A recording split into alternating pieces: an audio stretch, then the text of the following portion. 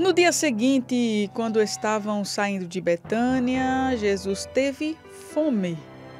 Vendo à distância uma figueira com folhas, foi ver se encontraria nela algum fruto. Aproximando-se dela, nada encontrou, a não ser folhas, porque não era tempo de figos. Então lhe disse: Ninguém mais coma do seu fruto.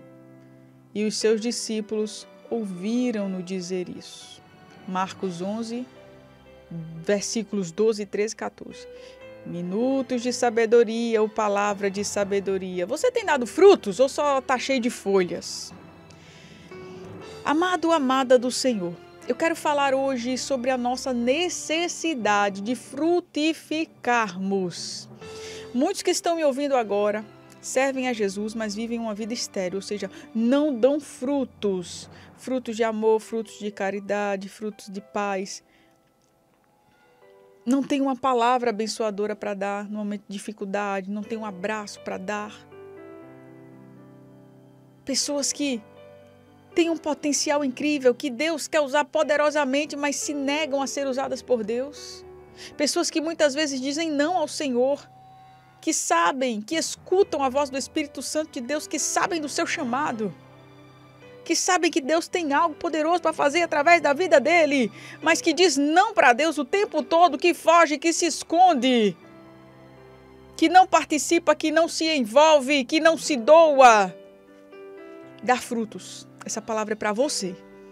Você cristão, que sabe que precisa fazer mais para Deus. Que sabe que não pode viver do jeito que você está escolhendo viver sendo crente de carteirinha, sendo evangélico de, de falar. Para entender essa palavra aqui, eu preciso entender um pouquinho sobre a figueira e eu vou te explicar de uma maneira bem simples. A primeira vez que eu li esse versículo, eu disse assim: como assim? Jesus foi buscar fruto e a Bíblia está dizendo que não era tempo de figo. Como é que Jesus ficou bravo? Se não era tempo de figo, obviamente não ia ter figo. Mas veja, aqui a Bíblia está falando que a figueira, ela, quando ela tem folhas, independente da época, ela está indicando que ali tem fruto. Porque no caso da figueira, por isso que eu falei que a gente precisa entender um pouquinho sobre a figueira, o fruto chega antes da folha. E se tem folha, tem fruto. É certo. E a Bíblia me conta que aquela figueira, quando Jesus estava com fome, olhou para ela, viu ela cheia de folha, Jesus já foi lá certinho. Eita, bora lá na figueira. Bora pegar um fruto porque eu tô com fome. Mas ali estava uma figueira que não tinha frutos. Aí Jesus, que gostava de ensinar, que não perdia uma oportunidade de dar uma lição aos seus discípulos e que ficariam registradas para a gente no dia de hoje, Jesus diz assim: Eita, deixa eu dar uma lição aqui, porque essa figueira ela só tem aparência. Deixa eu usar aqui essa ocasião a hipocrisia de muitos que vivem uma vida de aparência, mas que não estão vivendo de fato o que estão aparentando ser. A figueira parecia que tinha frutos, mas não tinha. Os irmãos que querem acompanhar e que estão aqui pedindo o versículo, está lá em Marcos no capítulo 11. Eu li o 12, o 13 e o 14. Jesus quis dizer para mim e para você assim: olha,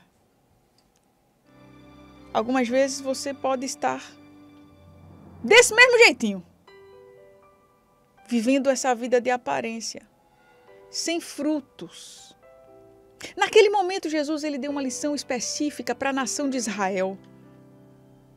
A nação que estava escondendo os seus corações hipócritas, que estavam vivendo com uma aparência enganosa, que tinham que, que queriam passar a impressão de que obedeciam à lei, de que eram fiéis à lei, mas que não produziam frutos.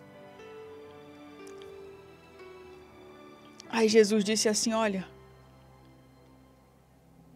o meu povo se comporta com hipocrisia. São muitos que aparentam santidade de uma maneira enganosa. Mas uma hora a máscara cai, amado, não adianta. Não adianta ter as folhas, não adianta aparentar que tem frutos, não adianta se vestir como crente, com roupa de crente, ter fidelidade ao costume. É só folha, porque fruto não tem. Quando abre a boca é só amargura. Quando abre a boca é só murmuração. Quando abre a boca é só para amaldiçoar. Pessoas que até chamam atenção para o seu porte, para sua roupa, para sua aparência que, que, que atrai. Até faz propaganda de fruto, né? Mas não tem fruto, só tem folha. É só propaganda. É, é no fim, é só de decepção, né? Vou usar aqui uma expressão que a gente usa muito: é fake. É fake. Ah. Eu vejo Jesus ali chegando faminto. Imagine. Jesus chegando ali com fome. Cadê? E sabe, Jesus olhou para a figueira, andou, e, e, os discípulos ali, os que acompanhavam Jesus, só olhando. Jesus foi para um lado, disse: cadê o fruto? Opa, aqui não tem, mas ali deve ter. Não tem também. A figueira só tinha. Eita, propaganda enganosa, eita, fake. Aí Jesus fica chateado. Porque ele chegou faminto e ele saiu faminto. Veja que isso acontece até nas igrejas. Pessoas que pregam, pegam o microfone ali para pregar, mas pessoas que não dão frutos. Não dão frutos. Aí é uma palavra oca, é uma palavra vazia.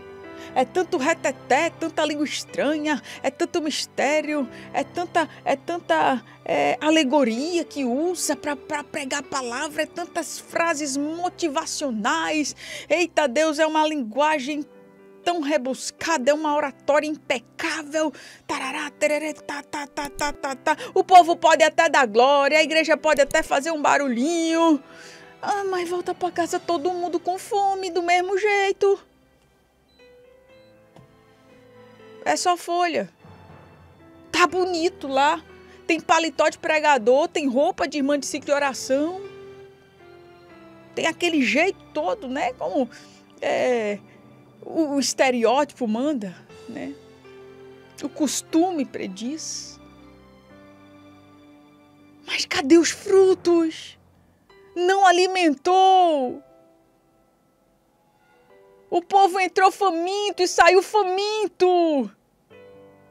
E amado, amada, é uma lição para mim, é uma lição para você. Eu já tive a oportunidade de chegar num culto, ouvir a palavra e sair com fome do mesmo jeito.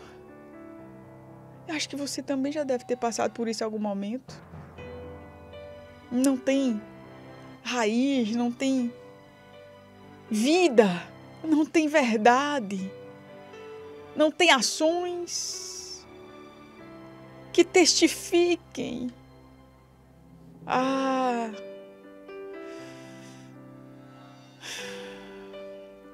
Amado, amada do Senhor, isso nos leva a refletir que eu preciso frutificar. Eu preciso frutificar e hoje. E tem um segredo. O segredo é uma vida centrada em Cristo.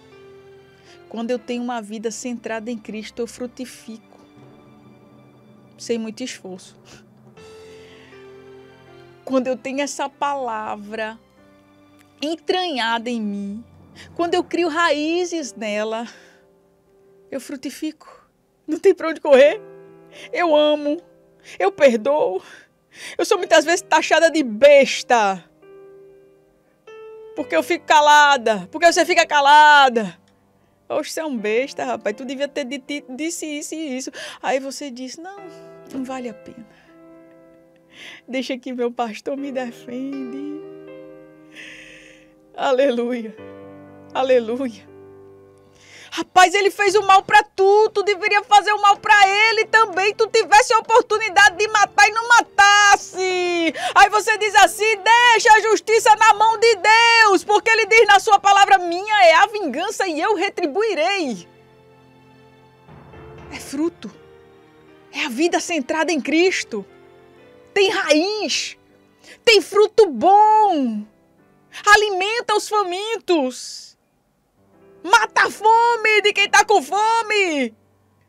Não causa decepção, não é fake. A palavra ela causa transformação de verdade.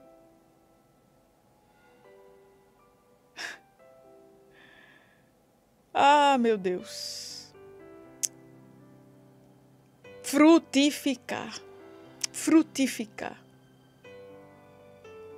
Ter paciência Alonga esse pavio em nome de Jesus. Quando você tem uma vida centrada em Cristo, o pavio fica mais longo. Aí dá tempo de você interromper ali o fogo para não explodir. Vida centrada em Cristo. É você alimentado com essa palavra, é você fazendo o que você está fazendo agora. Sabe que isso agora, você está ouvindo essa palavra? Essa palavra está fazendo você frutificar? Em nome de Jesus. Você precisa frutificar, amado. A maior vergonha para o evangelho é um cristão que não tem frutos. É uma desonra.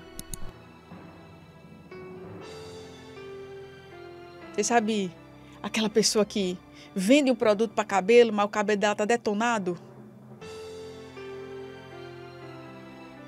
Cheio de ponta dupla, a ponta do cabelo toda acabada. Mas essa pessoa vende produto de cabelo, diz que o produto de cabelo dele é o melhor produto do mundo. Aí você olha assim pro cabelo dele e diz, oxi, Deus livre que eu não vou usar esse negócio. Só o cabelo dela. Ela não usa não, é? Quem vende produto para cabelo tem que estar tá com o cabelo arrumado.